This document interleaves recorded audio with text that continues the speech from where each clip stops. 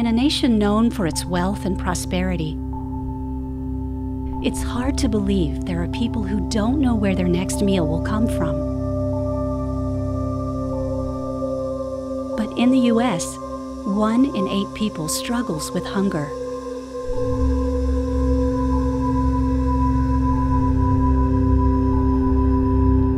South Carolina is the seventh worst state in the nation for food hardship. Households with children are especially vulnerable to hunger, with a food hardship rate almost one third higher than households without children. What are we to do? People are hungry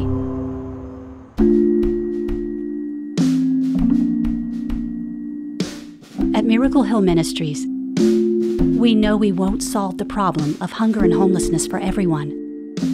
But what we can do is offer food and shelter in the name of Jesus, one life at a time.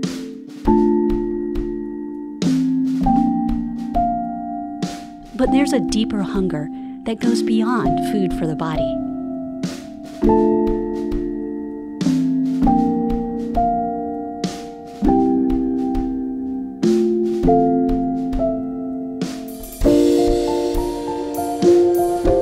Every day, Miracle Hill cares for more than 650 children and adults in nine shelters.